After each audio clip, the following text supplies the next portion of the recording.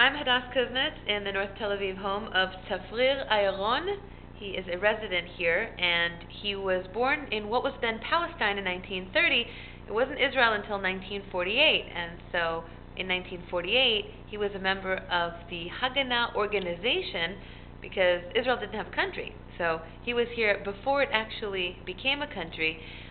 Tafrir, what was it like what, what did Israel look like before it was actually Israel? It was Palestine. What, what yeah, how did it look? Uh, Israel that time was like, may I say a little settlement. Of course, the Jewish population that time was little over half a million. The transportation was was not so modern. I remember when I was a little boy, I was born in Petah Tikva, and to go to Tel Aviv, we went by diligence. Diligence is a Turkish name, you know. Till till 1917, the Turks, they rule in this part of the world. So some Turkish names remains even after they left. So diligence was a, a wagon by one horse or two, and people went from part to another part to another place by by this wagon. And uh, of course, later on, we start to, to, to have the cars and the buses, but till 48, the country was not developed so much as it looked now, of course. First Well- of yeah. Oh, I was going to ask you about 1948. Where were you when the declaration was signed? Do you remember that? I was at home. I was at home. I was in Petah Tikva, and of course we were very happy to have our state. We think what a change will be later on in all means, and. Uh, but, but you know, very quickly we felt the Arab reaction of the reaction of, of Israel because because they on the next day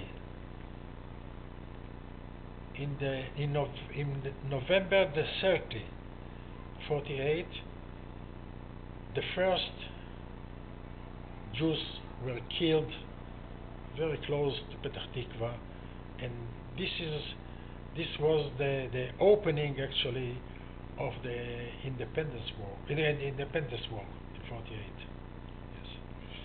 So we stand against the actually all the Arabs were surrounded Palestine, and you know even even the Iraqian soldiers arrived very close to Petah Tikva, where I lived at that time. And uh, I remember that my mother also he served that time in the front. So we very quickly we were we stood against a new fact that we are in the war actually. And of course this was very sad and every day we have we had some Israelis were killed, civilians as well as as soldiers and this was the, the, the opening of, of the independence war. From this point of view it was very sad. Can you believe that it's been 60 years already? Since that day?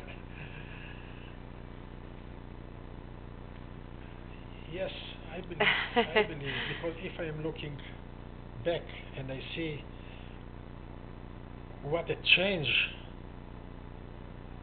we have in, in Israel, I can't say that it, it could not be after 50 years, but anyhow, the change is quite seen in Israel. What's the biggest change for you? The biggest change in Israel in 60 years.